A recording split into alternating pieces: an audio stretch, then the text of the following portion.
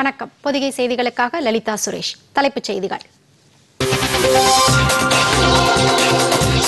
நாடு முழுவதும் உள்கட்டமைப்பு பணிகள் விரைவாக மேற்கொள்ளப்படுவதால் கோடிக்கணக்கான மக்கள் பயனடைந்துள்ளனர். பிரதமர் நரேந்திர மோடி.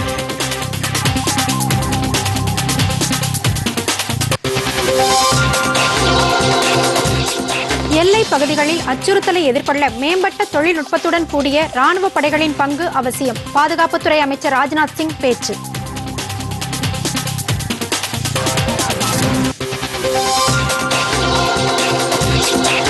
ஜப்பான் தொழிலதிபர்கள் தமிழகத்தில் அதிக முதலீடுகளை செய்ய முன்வர வேண்டும். ஒசாகா முதலீட்டாளர்கள் மாநாட்டில் முதலமைச்சர் மு ஸ்டாலின் அழைப்பு.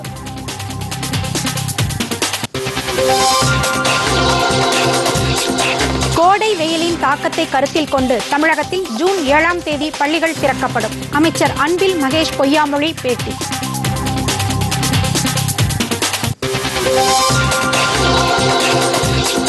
ஐபிஎல் கிரிக்கெட் போட்டியில் இறுதி ஆட்டத்திற்கு முன்னேறப் போவது யார்? மும்பை குஜராத் அணிகளுக்கு இடையே இன்று பல பரீட்சை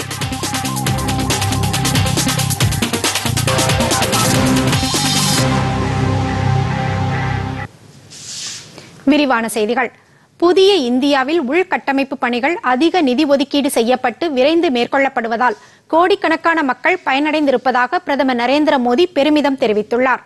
நாடு முழுவதும் பல்வேறு மாநிலங்களிலும் ரோஜ்கர் மேளா என்ற பெயரில் வேலைவாய்ப்பு வழங்கும் முகாம்கள் நடத்தப்பட்டு வருகின்றன. அதன் தொடர்ச்சியாக அஸ்ஸாம் மாநில வேலைவாய்ப்பு முகாமில் நேற்று காணொலி மூலம் பிரதமர் நரேந்திர மோடி பங்கேற்று உரையாற்றினார். அப்போது பேசிய பிரதமர் இந்த வேலைவாய்ப்பு முகாம் அஸ்ஸாமில் இளைஞர்களின் எதிர்காலம் குறித்த தீவிர அக்கறையின் பிரதிபலிப்பாகும் என்று தெரிவித்தார். தற்போதைய சூழலுக்கு ஏற்றவாறு அரசு எந்திரங்கள் கட்டாயம் மாற்றம் பெற வேண்டியது அவசியம் என்றும் இந்த மாநிலத்தின் பல்வேறு துறைகளிலும் நாற்பதாயிரம் பேர் புதிதாக பணி நியமனம் பெற்றிருப்பதாகவும் பிரதமர் தெரிவித்தார். உள்கட்டமைப்பு திட்டங்களை பொறுத்தவரை பணிகள் விரைவாக மேற்கொள்ளப்படுவதுடன் பல கோடி ரூபாய் ஒதுக்கீடு செய்யப்பட்டு நவீன முறையில் உள்கட்டமைப்பு பணிகள் நடைபெறுவதாக பிரதமர் தெரிவித்தார். இதன் மூலம் அஸ்ஸாம் மாநிலம் மட்டுமல்லாது நாடு முழுவதும் உள்ள ஏராளமானோர் பயன்பெற்று வருவதாக பிரதமர் நரேந்திர மோடி குறிப்பிட்டார்.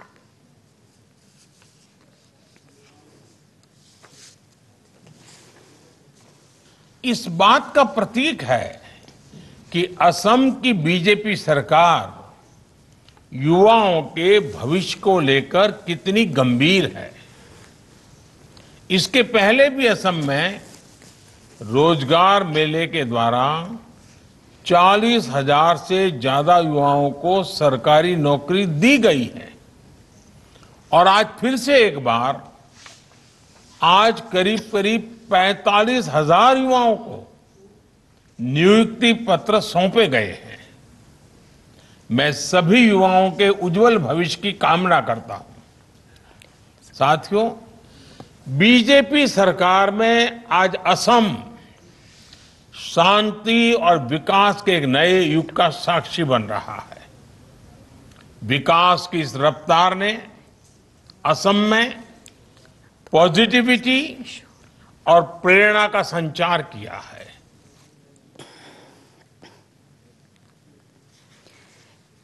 இந்த வேலைவாய்ப்பு முகாம் மூலம் வேலைவாய்ப்பை பெற்ற இளைஞர்களுக்கு ஒளிமயமான எதிர்காலம் அமைய தாம் வாழ்த்துவதாகவும் பிரதமர் தெரிவித்தார்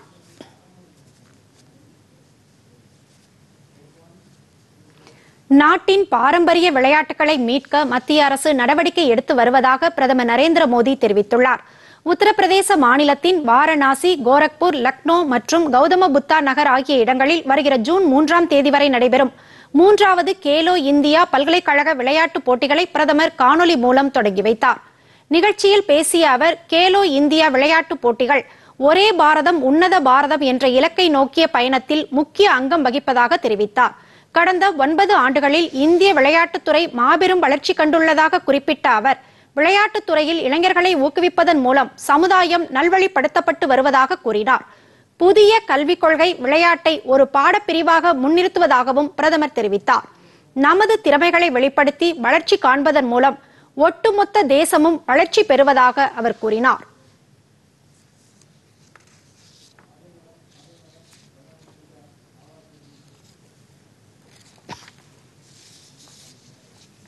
पिछले नौ वर्षों में भारत में खेल का एक नया युग शुरू हुआ है। ये नया युग विश्व में भारत को सिर्फ़ एक बड़ी खेल शक्ति बनाने भर का ही नहीं है, बल्कि ये खेल के माध्यम से समाज के सशक्तिकरण का भी नया दौर है। मुझे खुशी है कि खेलों को लेकर माता पिता और समाज के दृष्टिकोण में बहुत बड़ा बदलाव आया है மத்திய இளைஞர் நலன் மற்றும் விளையாட்டுத்துறை அமைச்சர் அனுராக் சிங் தாக்கூர் உத்தரப்பிரதேச மாநில முதலமைச்சர் யோகி ஆதித்யநாத் உள்ளிட்டோர் பங்கேற்ற தொடக்க விழா கண்கவர் நிகழ்ச்சிகளுடன் கோலாகலமாக நடைபெற்றது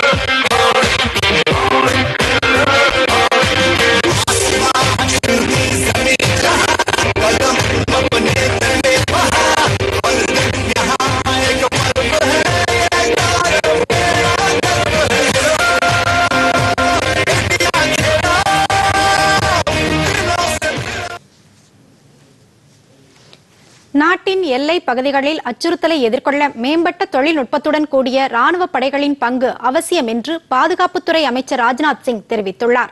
ராணுவ ஆராய்ச்சி மற்றும் மேம்பாட்டுக் கழகமான டிஆர்டிஓவின் இரண்டு நாள் மாநாட்டை புதுதில்லியில் தொடங்கி வைத்து பேசிய அவர் ராணுவத்தினருக்கு தொழில்நுட்ப மேம்பாடு என்பது அத்தியாவசியமான ஒன்று என தெரிவித்தார். நாட்டின் நலன்களை பாதுகாக்க ராணுவ கட்டமைப்பை அதிநவீனப்படுத்த வேண்டியது அவசியம் என்று கூறினார். ஏரோநாட்டிக்ஸ் போர் தளவாடங்கள் வாழ்க்கை அறிவியல் கடல்சார் நடைமுறைகள் போன்றவற்றில் தலை சிறந்த பங்களிப்பு அளித்த விஞ்ஞானிகளை அமைச்சர் ராஜ்நாத் சிங் பாராட்டினார் जब तक हम रिसर्च नहीं करेंगे तब तक हम नई नई टेक्नोलॉजीज को किसी भी सूरत में अपना नहीं पाएंगे और आज का समय अगर आप देखें तो स्वाभाविक रूप से आप ये पाएंगे कि यह एक ऐसा समय है जहां इकोनॉमी पॉलिटिक्स सोसाइटी एग्रीकल्चर और कनेक्टिविटी आदि सभी सेक्टर्स में रिसर्च एंड टेक्नोलॉजी का समावेश काफी हद तक हो चुका है साथियों ह्यूमन सिविलाइजेशन आज अपनी जिस अवस्था में है उसमें रिसर्च का एक बहुत बड़ा कंट्रीब्यूशन रहा है இதற்கிடையே ட்விட்டரில் பதிவிட்டுள்ள அமைச்சர் ராஜ்நாத் சிங் நாடாளுமன்றம் அல்லது குடியரசுத் தலைவர் தொடர்பான சர்ச்சையை ஏற்படுத்துவதை எதிர்க்கட்சிகள் தவிர்க்க வேண்டும் என்று கேட்டுக்கொண்டுள்ளார். நாட்டின் ஜனநாயகத்தை பிரதிபலிக்கும் வகையில் புதிய நாடாளுமன்ற கட்டிடம் உருவாக்கப்பட்டு உள்ளதாகவும் இது நூற்று நாற்பது கோடி மக்களின் விருப்பம் என்றும் ராஜ்நாத் சிங் அதில் குறிப்பிட்டுள்ளார்.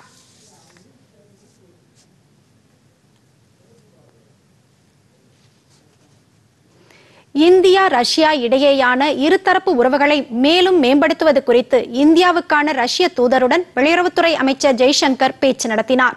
புதுதில்லியில் நேற்று ரஷ்ய தூதர் டெனிஸ் அலிப்போவை சந்தித்து பேசிய ஜெய்சங்கர் வர்த்தகம் பொருளாதாரம் அறிவியல் மற்றும் கலாச்சார ஒத்துழைப்புக்கான இரு நாடுகளின் ஆணையம் இதற்கான முயற்சிகளில் ஈடுபட்டிருப்பதாக தெரிவித்தார். தென்னாப்பிரிக்காவில் நடைபெறவுள்ள பிரிக்ஸ் வெளியுறவு அமைச்சர்கள் கூட்டத்தில் பேசப்பட வேண்டிய விஷயங்கள் குறித்தும் இரு தலைவர்களும் ஆலோசனை நடத்தினர். தென்னாப்பிரிக்காவின் கேப்டவுன் நகரில் பிரிக்ஸ் நாடுகளின் வெளியுறவு அமைச்சர்கள் கூட்டம் நடைபெற இருப்பது குறிப்பிடத்தக்கது.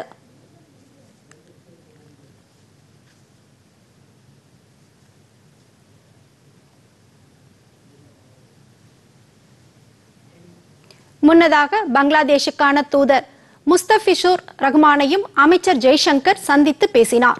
இரு நாடுகளுக்கும் இடையேயான உறவுகளை மேம்படுத்தும் வழிமுறைகள் குறித்து அப்போது இருவரும் ஆலோசனை மேற்கொண்டனர்.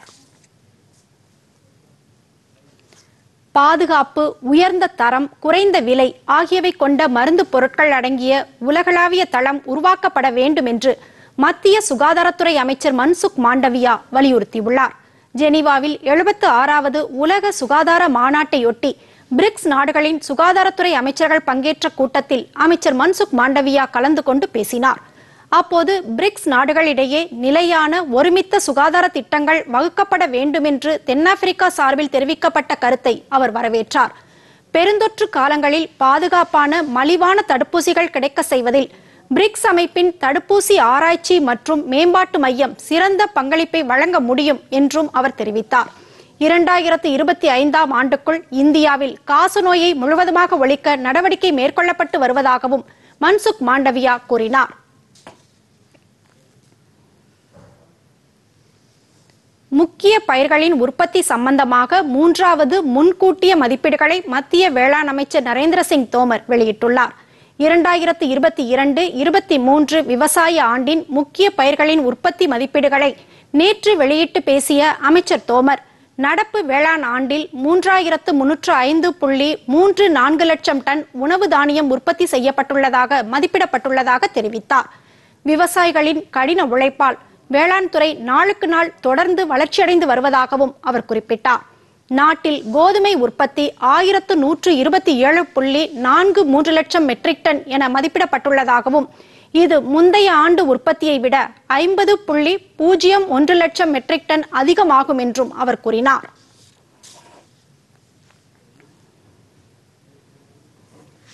சிறிய இடைவேளைக்கு பிறகு செய்திகள் தொடரும். சிறுதானிய வகைகளை பிரபலப்படுத்தும் வகையில் இரண்டாயிரத்தி இருபத்தி மூன்றாம் ஆண்டை சர்வதேச சிறுதானிய ஆண்டாக ஐநா அறிவித்துள்ளது. இதன் மூலம் சிறுதானிய உணவுகளில் கிடைக்கும் ஆரோக்கிய பலன்கள் பருவநிலை மாற்றத்திற்கு ஏற்ப பயிரிடும் முறைகள் ஆகியவை குறித்த விழிப்புணர்வு ஏற்படும். இந்த நடவடிக்கைக்கு பிரதமர் நரேந்திர மோடி பாராட்டு தெரிவித்துள்ளார். சிறுதானிய வகைகளை பிரபலப்படுத்துவதில் இந்தியா முன்னணியில் இருப்பதாக அவர் கூறியுள்ளார். சிறுதானியங்களில் சோளம் ராகி வரகு சாமை குதிரைவாலி ஆகியன அடங்கும். ராஜஸ்தான் உத்தரப்பிரதேசம் மற்றும் ஹரியானா ஆகிய மூன்று மாநிலங்கள் மொத்த சிறுதானிய உற்பத்தியில் எண்பத்தி ஒரு சதவீதத்திற்கும் அதிகமான பங்கை கொண்டுள்ளன. சர்வதேச சிறுதானிய ஆண்டு கொண்டாட்டம் இந்திய சிறுதானிய வகைகளுக்கு உலகளாவிய அங்கீகாரத்தை வழங்கி இருப்பதாக பிரதமர் நரேந்திர மோடி கூறியுள்ளார். செய்திகள் தொடர்கின்றன. தமிழகத்தில் கோடை வெயிலின் தாக்கத்தை கருத்தில் கொண்டு அனைத்து பள்ளிகளும் ஜூன் ஏழாம் தேதி திறக்கப்படும் என்று பள்ளி கல்வித்துறை அமைச்சர் அன்பில் மகேஷ் பொய்யாமொழி தெரிவித்துள்ளார். திருச்சியில் செய்தியாளர்களிடம் பேசிய அவர் இது தொடர்பாக முதலமைச்சர் மு க ஸ்டாலினிடம் அறிவுறுத்தலின் பேரில் மாணவர்களின் உடல்நலத்தை கருத்தில் கொண்டு இந்த முடிவு எடுக்கப்பட்டதாக அவர் கூறினார். அதன்படி ஒன்று முதல் பன்னிரெண்டாம் வகுப்பு வரையிலான மாணவர்களுக்கு ஜூன் ஏழாம் தேதி பள்ளிகள் திறக்கப்படும் என்று அன்பில் மகேஷ் பொய்யாமொழி தெரிவித்தார்.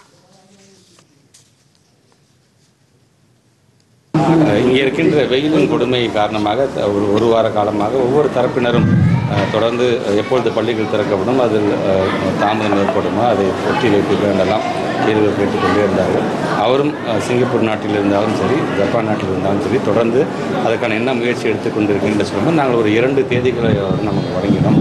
அதன் அடிப்படையில் இங்கே இருக்கின்ற மேட் மெட் டிபார்ட்மெண்ட் மூலமாகவும் இந்த வெயிலுடைய தாக்கம் எந்த அளவுக்கு இருக்கும் என்பதெல்லாம் கண்டறிந்து கண்டு அறிந்து மாண்புமிகு தமிழ்நாட்டுடைய முதலமைச்சர் அவர்கள் ஒன்றாம் வகுப்பிலிருந்து பன்னிரெண்டாம் வகுப்பு வரை படிக்கின்ற மாணவ செல்வங்களுக்கான பள்ளிக்கூடங்கள் திறக்கின்ற தேதியை ஜூன் மாதம் ஏழாம் தேதி என்று அறிவித்திருக்கின்றார்கள்.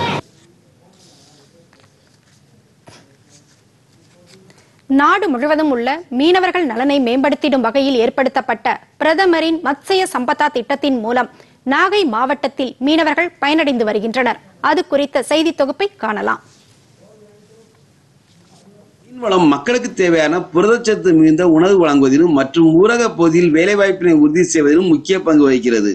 மீனவர்கள் மீன் வளர்ப்போர் மற்றும் இதனை சார்ந்த தொழில் புரிவோர் பயன்பெறும் வகையில் மத்திய அரசு ரூபாய் இருபதாயிரத்தி ஐநூறு கோடி முதலீட்டில் மீன்வளம் மற்றும் மீனவர்கள் நலனை மேம்படுத்திட பிரதம மந்திரி மீன்வள மேம்பாட்டு திட்டம் பிரதான் மந்திரி மர்ச்சய சம்போடா யோஜனா முன்னோடி திட்டங்களை செயல்படுத்தி வருகிறது.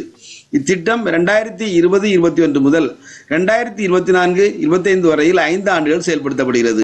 நாகை மாவட்டத்தில் இத்திட்டத்தில் மீன் வளர்ப்பில் மீன் மற்றும் மீன் குஞ்சுகள் பண்ணை அமைத்து வளர்க்க மானிய உதவிகள் பெற ஆர்வமுள்ள பயனாளிகள் ஒரு ஹெக்டேர் பரப்பில் ரூபாய் ஏழு லட்சம் செலவு செய்து மீன் வளர்ப்பு குளம் அமைத்திட ஐம்பது சதவீத மானியமாக ரூபாய் மூன்று லட்சத்து ஐம்பதாயிரம் வரை மானியமாக வழங்கப்படுகிறது. மேலும் உள்ளீட்டு மானியமாக மீன் குஞ்சு தீவனம் மற்றும் இதர செலவுகள் ஹெக்டேர் ஒன்றுக்கு ஆகும் மொத்த செலவினமான ரூபாய் ஒரு லட்சத்தி ஐம்பதாயிரத்தில் நாற்பது சதவீதம் மானியமாக ரூபாய் அறுபதாயிரம் வரை வழங்கப்படுகிறது. அதே போன்று ஒரு ஹெக்டேர் பரப்பில் ரூபாய் ஆறு லட்சம் செலவு செய்து மீன் குஞ்சு வளர்ப்பு பண்ணை அமைக்க ஆகும் செலவினத்தில் ஐம்பது சதவீத மானியமாக மூன்று லட்சம் வரை வழங்கப்படுகிறது. மற்றும் உள்ளீட்டு மானியத்திற்கு ஹெக்டேர் ஒன்றுக்காக மொத்த செலவினமான ஒரு லட்சத்தி ஐம்பதாயிரத்தில் நாற்பது சதவீத மானியமாக ரூபாய் அறுபதாயிரம் வரை வழங்கப்படுகிறது. இந்த திட்டத்தின் மூலமாக பயன்பெற்ற பயனாளி மீன்பண்ணை தொழில் செய்து வரும் செல்மியா என்பவர் கூறுகையில் மத்திய அரசோட மீன் வளர்ப்பு திட்டத்தின் கீழே நாங்க பண்ணை குட்டை அமைத்து கட்லா சிலேபி மிருக்கால் போன்ற மீன்களை நாங்கள் வளர்த்துட்டு இருக்கோம் அது மட்டும் இல்லாமல் அதோட குஞ்சுகள் இனப்பெருக்கம் செய்து அதையும் நாங்கள் விற்பனை செய்கிறோம் இதனால எங்களுக்கு நிறைய லாபம் கிடைக்குது. இது வந்து ஒரு ஹெக்டாருக்கு மூணு லட்சத்தி ஐம்பதாயிரம் ரூபா எங்களுக்கு மானியமாக கொடுத்துருக்காங்க. இதனால எங்களுக்கு நிறைய வருமானம் கிடைக்குது. இந்த மானியம் எங்களுக்கு கிடைக்க செய்த மத்திய அரசுக்கும் பிரதமர் மோடி அவர்களுக்கும் என் நன்றியை தெரிவித்துக் கொள்கிறேன். ஏஞ்சல். நாங்க ஒரு சின்ன மீன் பண்ண ஒன்று ஆரம்பிக்கணும்னு ஆசைப்பட்டு ஒரு சின்ன மீன் பண்ண ஆரம்பிச்சிருக்கோம். அதுல வந்து நாங்க கட்லா ரோகு ஸ்லேப்பி பல வகை இனப்பெருக்கங்களுக்குள்ள மீன்களையும் வச்சிருக்கோம். இது கிலோ நூற்றி முப்பது ரூபா வரை நாங்க விற்கோம். இது நிமித்தம் எங்களுக்கு வந்து வருமானங்களை கூட்டுவதற்காக இது ஒரு வாய்ப்பாக அமைஞ்சிருக்கு. இதுக்காக ம- மத்திய அரசு வந்து நமக்கு ஒரு ஹெக்டாருக்கு மூன்று லட்சம் ரூபா தராங்க. அது ஒரு மானியமாக தரதுனால நம்முடைய வருமானத்தை கூட்ட முடிகிறது. அதுக்காக மத்திய அரசாங்கத்துக்கும் பிரதமர் நரேந்திர மோடிக்கும் நன்றியை தெரிவித்துக் கொள்கிறோம். நாகையிலிருந்து பொதிய செயலுக்காக செல்வன் ஜெபராஜ். இனி வருவது விரைவு செய்திகள்.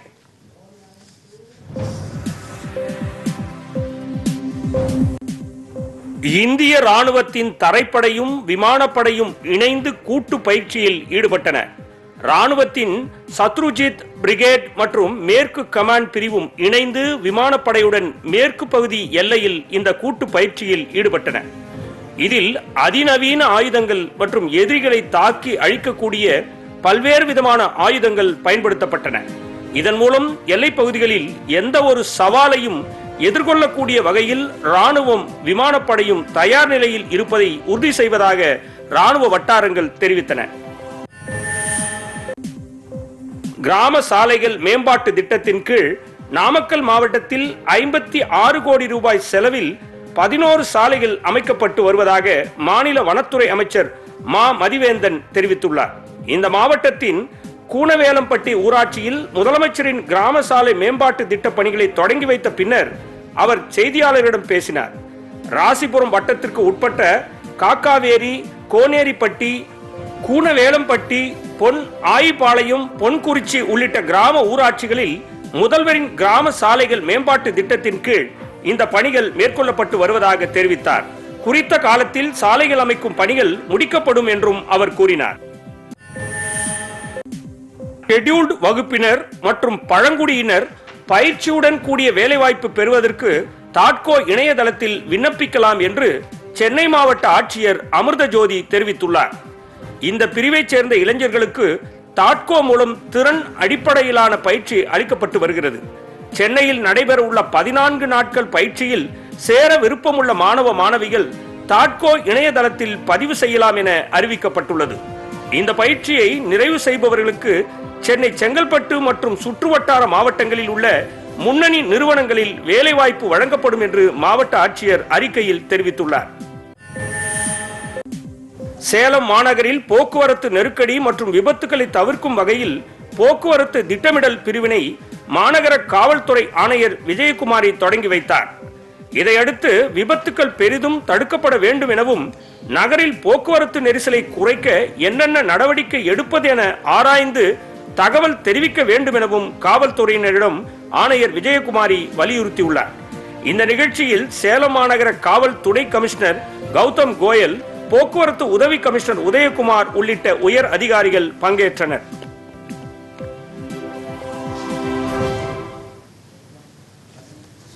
சிங்கப்பூர் பயணத்தை முடித்துக்கொண்டு ஜப்பான் சென்ற முதலமைச்சர் மு ஸ்டாலின் ஒசாகா நகரில் இன்று நடைபெற்ற முதலீட்டாளர்கள் மாநாட்டில் பங்கேற்றார்.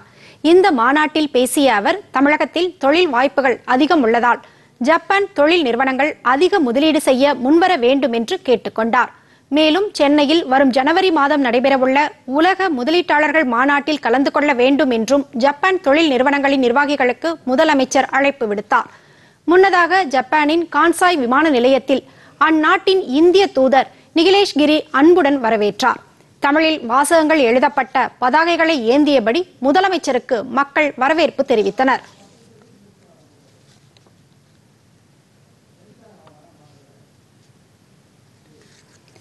பின்னர் ஒசாகா நகரில் ஜப்பான் நாட்டைச் சேர்ந்த டைசல் சேஃப்டி சிஸ்டம்ஸ் நிறுவனத்தின் வணிக இயக்க பிரிவு தலைவர் கென் பாண்டோவை சந்தித்து பேசினார்.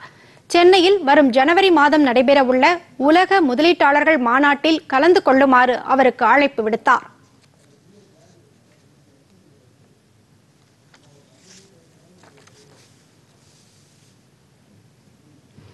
இதன் பின்னர் முதலமைச்சர் மு க ஸ்டாலின் முன்னிலையில் எண்பத்தி மூன்று கோடி ரூபாய் முதலீட்டில் ஆயிரக்கணக்கானோருக்கு வேலைவாய்ப்பு அளிக்கும் வகையிலான விரிவாக்கம் செய்யும் திட்டத்திற்கு புரிந்துணர்வு ஒப்பந்தம் கையெழுத்தானது. திருப்போரில் போரூரில் இந்த நிறுவனத்தின் ஏர்பேக் இன்ஃபிளேட்டர் தயாரிப்பு தொழிற்சாலையில் இந்த விரிவாக்க பணிகள் மேற்கொள்ளப்பட உள்ளன.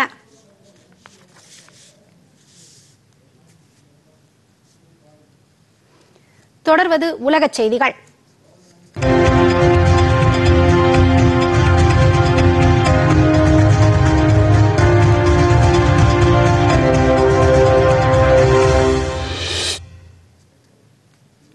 பிரதமர் நரேந்திர மோடி ஜூன் மாதம் இருபத்தி இரண்டாம் தேதி மேற்கொள்ளவிருக்கும் அமெரிக்க பயணம் இரு நாடுகளுக்கும் இடையிலான நல்லுறவை மேலும் வலுப்படுத்தும் என்று அமெரிக்க வெள்ளை மாளிகையின் ஊடக செயலாளர் கரின் ஜீன் பியா தெரிவித்துள்ளார். வாஷிங்டனில் நேற்று அமெரிக்க வெளியுறவு செய்தி தொடர்பாளர் மேத்யூ மில்லரும் வெள்ளை மாளிகை ஊடக செயலாளர் கரின் ஜீன் பியரும் செய்தியாளர்களை சந்தித்தனர். அப்போது பேசிய மேத்யூ மில்லர் இருதரப்பு நல்லுறவில் விசா வழங்கும் பிரச்சினை முக்கிய அங்கம் வகிப்பதாக தெரிவித்தார். இந்தியர்களின் விசாக்களுக்கு அனுமதி வழங்கும் பணியை துரிதமாக்குவதில் அமெரிக்க அரசும் தூதர குழுவும் முன்னுரிமை அளித்து செயல்பட்டு வருவதாக அவர் கூறினார். இந்தியா அமெரிக்கா இடையிலான நல்லுறவு மிகவும் முக்கியத்துவம் வாய்ந்தது என்றும் இந்தியாவுடன் பல துறைகளில் நெருக்கமான ஒத்துழைப்பை ஏற்படுத்த முன்னுரிமை அளிக்கப்பட்டு வருவதாகவும் மில்லர் குறிப்பிட்டார்.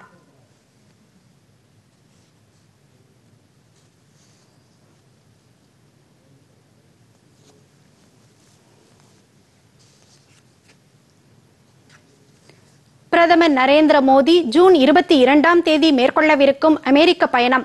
இருதரப்பு நல்லுறவை மேலும் வலுப்படுத்த உதவும் என்று உடனிருந்த வெள்ளை மாளிகை ஊடக செயலாளர் கரின்ஜின் பியா தெரிவித்தார்.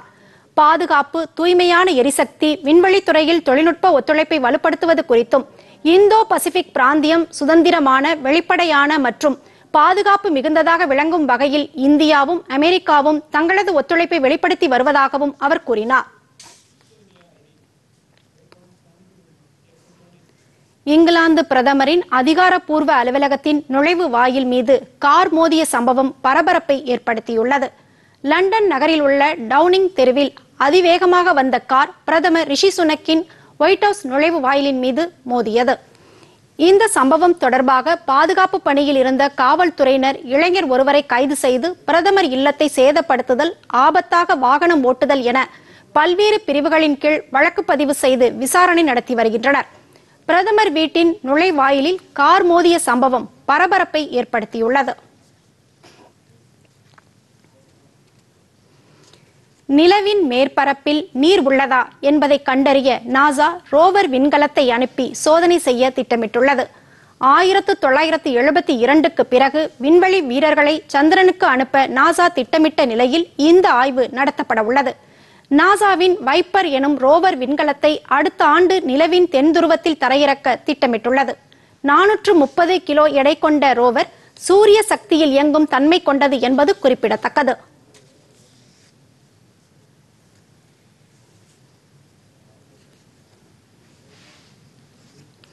உள்நாட்டில் தயாரித்திருந்த விண்வெளி ராக்கெட்டை பயன்படுத்தி வணிகத்தர செயற்கைக்கோளை தென்கொரியா ஏவியுள்ளது. தெற்கு கடற்கரையில் உள்ள நரோ விண்வெளி மையத்தில் இருந்து இந்த செயற்கைக்கோள் ஏவப்பட்டது. இதன் மூலம் உள்நாட்டிலேயே தயாரிக்கப்பட்ட செயற்கைக்கோள்களை விண்வெளி சுற்றுப்பாதையில் செலுத்திய முதல் ஏழு நாடுகளில் தென்கொரியாவும் இடம்பெற்றிருப்பதாக அந்நாட்டு அதிபர் யூன் சுக் யோல் தெரிவித்துள்ளார். இந்த வணிக ரீதியிலான செயற்கைக்கோள் மூலம் ஆறு ஜி நெட்வொர்க் உளவு செயற்கைக்கோள்கள் சந்திரன் குறித்த ஆய்வு ஆகியவற்றில் புதிய முன்னேற்றத்தை ஏற்படுத்த முடியும் என்றும் தென்கொரியா நம்பிக்கை தெரிவித்துள்ளது. இனி வருவது விளையாட்டுச் செய்திகள்.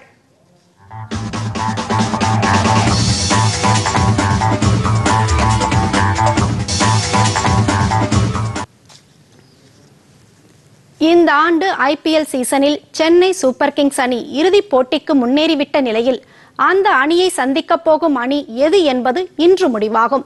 இரண்டாவது தகுதிச் சுற்று ஆட்டத்தில் வெற்றி பெற்ற மும்பை இந்தியன்ஸ் அணியும் சென்னையிடம் தோல்வி கண்ட குஜராத் டைட்டன்ஸ் அணியும் அகமதாபாத்தில் இன்று களம் காணுகின்றன. இரவு ஏழு முப்பது மணிக்கு தொடங்கும் இந்த போட்டியில் வெற்றி பெறும் அணியே வரும் இருபத்தி எட்டாம் தேதி நடைபெறவுள்ள இறுதி ஆட்டத்தில் சென்னை சூப்பர் கிங்ஸ் அணியுடன் மோதும். இறுதிப் போட்டிக்கு முன்னேறும் அணியை முடிவு செய்யும் ஆட்டம் என்பதால் இன்றைய போட்டி கிரிக்கெட் ரசிகர்களிடையே மிகுந்த எதிர்பார்ப்பை ஏற்படுத்தியுள்ளது.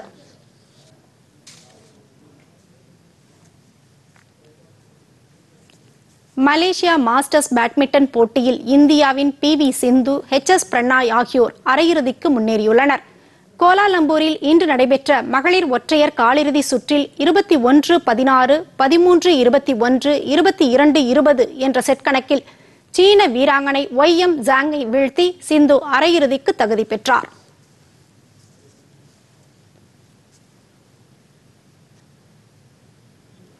ஆடவர் ஒற்றையர் பிரிவு போட்டியில் இந்திய வீரர் ஹெச் எஸ் பிரணாய் இருபத்து மூன்று இருபத்தி ஐந்து இருபத்தி ஒன்று பதினெட்டு பதிமூன்று இருபத்தி ஒன்று என்ற செட் கணக்கில் ஜப்பான் வீரர் நிஷிமோட்டோவை தோற்கடித்து அரையிறுதி சுற்றுக்கு முன்னேறினார். மற்றொரு ஆட்டத்தில் இந்தோனேஷிய வீரர் கிறிஸ்டியான் அடினேட்டாவை எதிர்கொண்ட இந்திய வீரர் கிடாம்பி ஸ்ரீகாந்த் தோல்வியடைந்து வெளியேறினார்.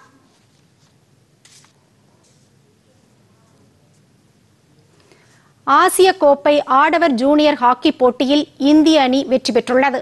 ஓமனில் நடைபெற்று வரும் இப்போட்டியின் ஏ பிரிவில் இந்திய அணி மூன்று ஒன்று என்ற கோல் கணக்கில் ஜப்பான் அணியை வீழ்த்தியது. இந்த ஆண்டு ஜூனியர் ஆசிய கோப்பையில் இந்தியா பெற்ற இரண்டாவது வெற்றி இது என்பது குறிப்பிடத்தக்கது. இதையடுத்து மே இருபத்தி எட்டாம் தேதி நடைபெறவிருக்கும் இறுதி சுற்று ஆட்டத்தில் தாய்லாந்தை எதிர்கொள்ள உள்ளது.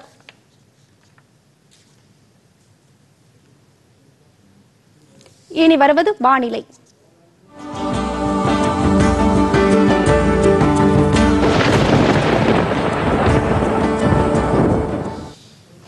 வெப்பசலனம் காரணமாக தமிழகம் புதுவையில் ஓரிரு இடங்களில் இடி மின்னலுடன் கூடிய மிதமான மழை பெய்யக்கூடும் என சென்னை வானிலை ஆய்வு மையம் தெரிவித்துள்ளது. சென்னை மற்றும் புறநகர் பகுதிகளில் வானம் ஓரளவு மேகமூட்டத்துடன் காணப்படும் என்றும் அதிகபட்ச வெப்பநிலை நாற்பது டிகிரி செல்சியஸாகவும் குறைந்தபட்ச வெப்பநிலை இருபத்தி ஒன்பது டிகிரி செல்சியஸாகவும் இருக்கும் என்றும் வானிலை மைய அறிக்கையில் குறிப்பிடப்பட்டுள்ளது.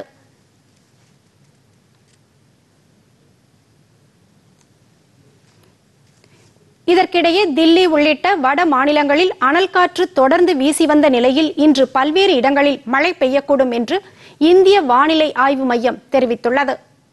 இதன் மூலம் வெயிலின் தாக்கத்தில் இருந்து மக்கள் ஓரளவு விடுபட வாய்ப்பு உள்ளதாக தகவல்கள் தெரிவிக்கின்றன. வடகிழக்கு மாநிலங்களான அஸ்ஸாம் மேகாலயா மிசோரம் திரிபுரா மாநிலங்களில் பெரும்பாலான இடங்களில் கனமழை பெய்ய வாய்ப்புள்ளதாகவும் தெரிவிக்கப்பட்டுள்ளது.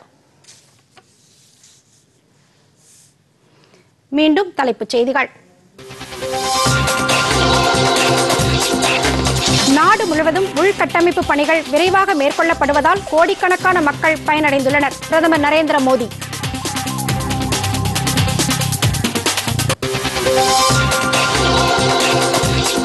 எல்லை பகுதிகளில் அச்சுறுத்தலை எதிர்கொள்ள மேம்பட்ட தொழில்நுட்பத்துடன் கூடிய ராணுவ படைகளின் பங்கு அவசியம். பாதுகாப்புத்துறை அமைச்சர் ராஜ்நாத் சிங் பேச்சு.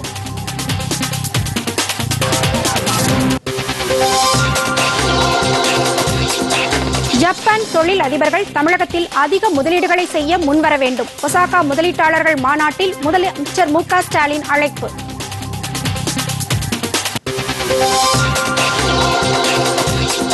கோடை வெயிலின் தாக்கத்தை கருத்தில் கொண்டு தமிழகத்தில் ஜூன் ஏழாம் தேதி பள்ளிகள் திறக்கப்படும்.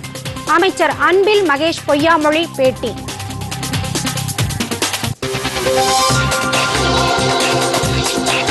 ஐபிஎல் கிரிக்கெட் போட்டியில் இறுதி ஆட்டத்திற்கு முன்னேறப்போவது யார்? மும்பை குஜராத் அணிகளுக்கு இடையே இன்று பல பரீட்சை.